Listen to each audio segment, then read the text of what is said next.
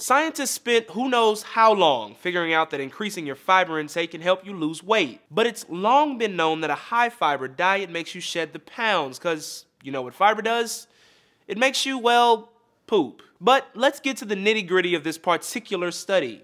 University of Massachusetts researchers compared 240 obese adults with metabolic syndrome, which is when people have higher blood pressure, sugar, and cholesterol levels, along with excess body fat. People were divided into two groups, and each group followed a different diet. One diet was the standard American Heart Association or AHA diet, the other was a high fiber diet. The AHA diet is a little involved. It requires counting calories, burning more calories than you take in, cutting saturated fat, etc. The other group of dieters only had to boost their fiber intake by 30 grams a day.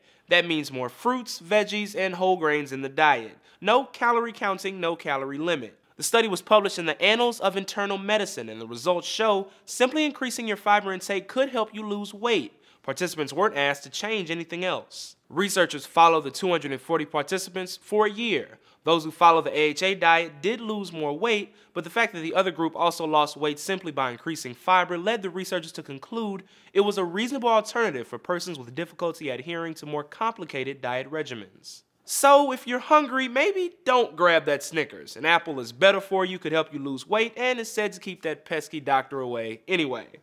For Newsy, I'm Jamal Andress.